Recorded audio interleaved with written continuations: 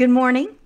I'm Dr. Cam, and I wanted to share a little bit about what I just committed to.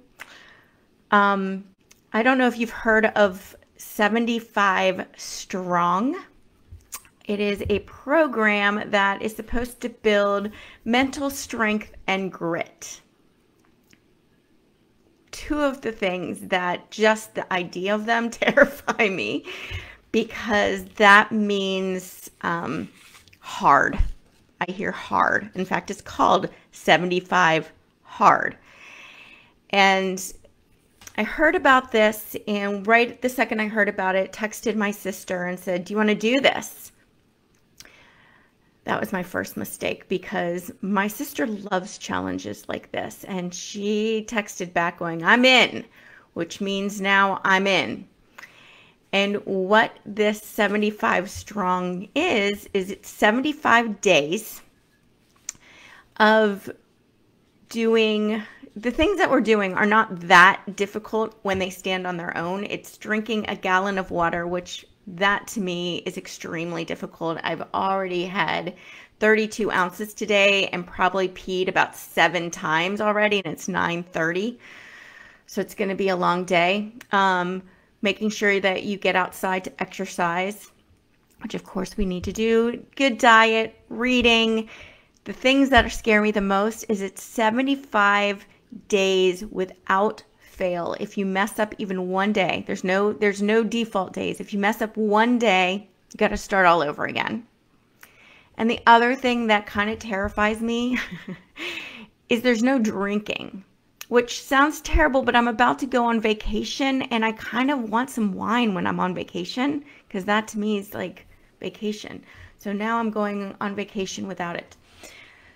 So I've decided to do this and I'm really struggling with this commitment. I'm struggling already. It's day one and I'm already worried about staying motivated to do it. I think the big problem I'm having is I'm focusing on what I'm going to lose. I'm focusing on the fact that I'm giving up any possible days of sleeping in which I love to do on the weekends. I'm giving up my glasses, my glass of wine, which I only drink on the weekends, but still knowing I have that glass of wine I like. Um, I'm giving up just the freedom of being able to do whatever I want to do because now I've committed to some rigorous commitment and schedule. What I'm not focusing on is what I'm gaining out of this, which is grit which is health, more a more healthy body, more energy, hopefully fitting into some of my shorts again that are a little snug. Um, there's a lot of wonderful things. Doing something, a challenge with my sister. There's some great things that I'm getting out of this, which I need to stay focused on because that will motivate me. The other thing that's really hard for me is thinking 75 days. I will end on October 3rd, 3rd or 4th, if I'm doing the math right. That feels like a long time rather than focusing on day by day, something that's manageable. And I want to think about this when we're trying to motivate our teens because it can be an enormous challenge to keep our teens motivated. We often feel like i mean if if what we were trying to motivate them to do was sleep or stay on their devices that would be extremely easy. We'd be winning every day. When we want to motivate them to get out of bed or to get off their devices or to do something productive get outside read a book I mean, some of our kids love it, a lot of our kids don't. When we want to motivate them to do something that we think is going to be better for them, it can be a challenge, it often ends up in an argument and frustration and slammed doors and huffing and throwing up our hands and giving up. And we just want to teach them good habits, but we're not feeling successful when we do it. So, I want to talk about three components to motivating our kids. And I call this to get them to dig in to do something. DIG. So I've created a little acronym to help us remember how to get them to dig in. And the first is desire. What is their why? Why would they want to do what we're asking them to do? If we're asking them to do something because we think it's the right thing for them to do, it's not a lot of motivation for them. What is what's in it for them?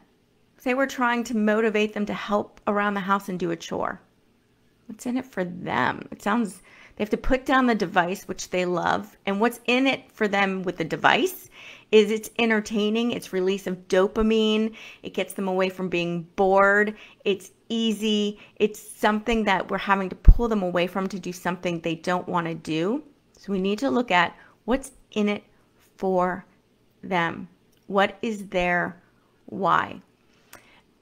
And a lot of times we will manufacture a why by saying we're going to take your phone away if you don't do it, or take something else away, or send them to their room, or whatever we're going to do. yes, more, I am spying on your house. Um, now you know. We we want to motivate them by threatening something, which it kind of is a threat. I'm going to take your phone away. I'm going to do this. What happens is we're motivating them falsely by having them motivated to avoid something we think will be painful to them. And it may work in the moment. They may do it to avoid getting their phone taken away. But what happens is we've come up with a very short term solution for something we want to develop long time long term because now we're stuck having to threaten to take their phone away every single time we want them to do something because their own own motivation is to avoid getting their phone taken away. The other thing to consider is we are now teaching them to be motivated to avoid something. And there's a lot of ways to avoid doing something. They just want to avoid getting caught, avoid getting into trouble, which means they may become more secretive or they may find out how to manipulate us around it.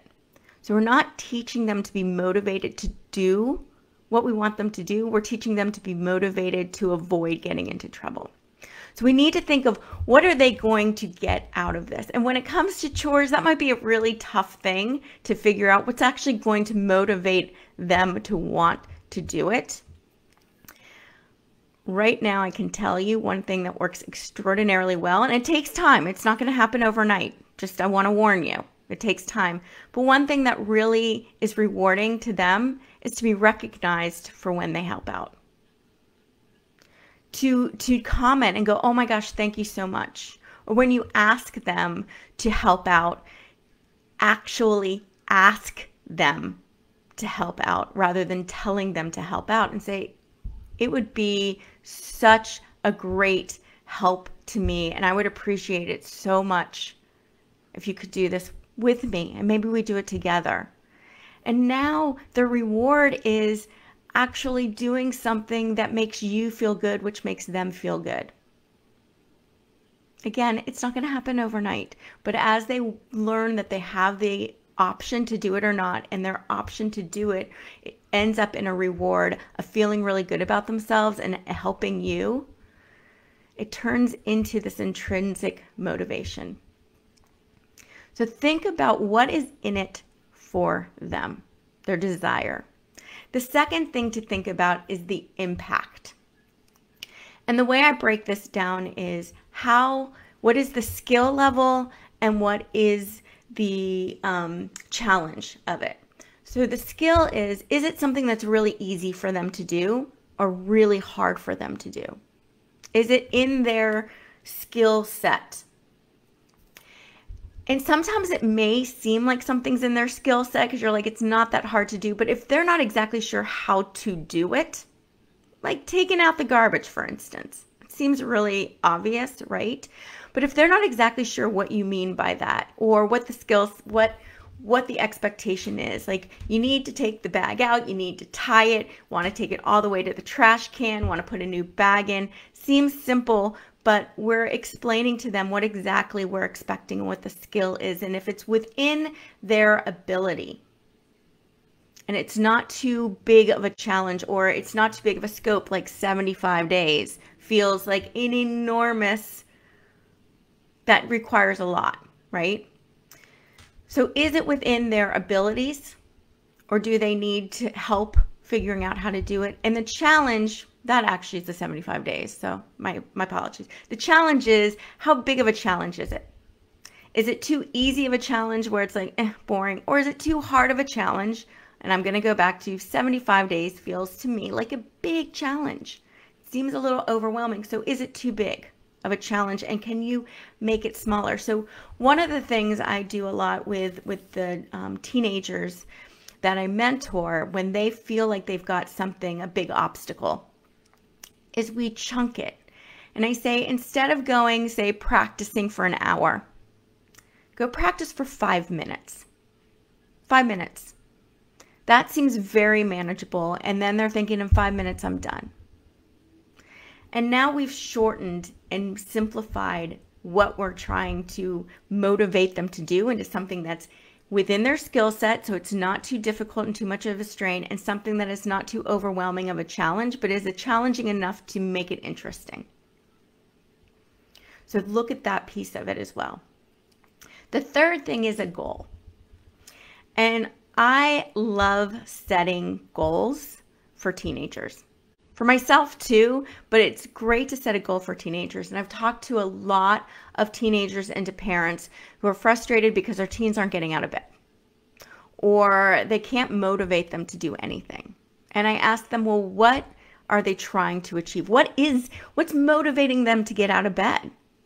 What is exciting about the day? And if we set something where they've actually got a goal. So let's say even if it's something like they love playing video games and you set a goal on, do you think you can beat this score? Or they want to, they love playing soccer. And yeah, we can't do team sports right now, but can are there skills that you can develop?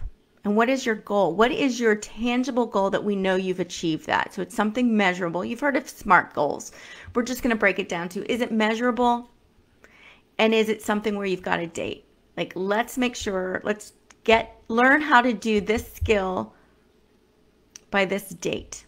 And now they've got something that they're challenged to do, which motivates them to practice. So think of what is their why behind what you're asking, not your why, their why. What is the impact on their ability? So is it within their skill set or is there something you need to teach them or something you might need to step back and help them develop first? And is the challenge something that is not too overwhelming? And if it feels too overwhelming to them, how do you make it a how do you make it smaller? How do you just do the first step and then build upon that? And the third thing is what is the goal? What are they trying to achieve? So you can start celebrating small wins towards that achievement, which is going to keep them encouraged and when you're done with a big goal, you can have a big celebration to celebrate it. One thing I one thing I love and I'm going to challenge you to do is to actually come up with a family challenge. This adds the the element of competition, which let's do friendly competition here, but it ends it it builds in some competition and it builds in some accountability and it builds in some fun. Make it fun. So now the entire family is involved in some sort of challenge. So let's say you want your kid to get out and exercise more. Instead of nagging your child to get out and do some exercise, get outside, put down your phone, go outside for a while. Why don't you take a walk? Why don't you do this? Why don't you set a challenge saying the entire family is on a challenge that we have to be outside for 45 minutes every day? And whoever wins this challenge, let's say we're going to do it just this week. Every day this week, we've got to get out for 45 minutes. And when we do the 45 minutes, we have a small celebration. And at the end of the day, we have a big celebration for everyone that's done it. Or who can spend the most time outside or run the longest or whatever it is. Set up a challenge that fits what you're encouraging your team to do. You get involved So it's not about you nagging your teen, it's about you and your teen and your whole family doing something together. And start learning how to motivate your teen to achieve something that they're proud of, which is intrinsic motivation rather than external motivation, which is trying to either win a bribe or avoid, which a lot of times is how we motivate to avoid something negative, like getting their phone taken away. And right now, when your teens are, right now, during adolescence, is a window of opportunity.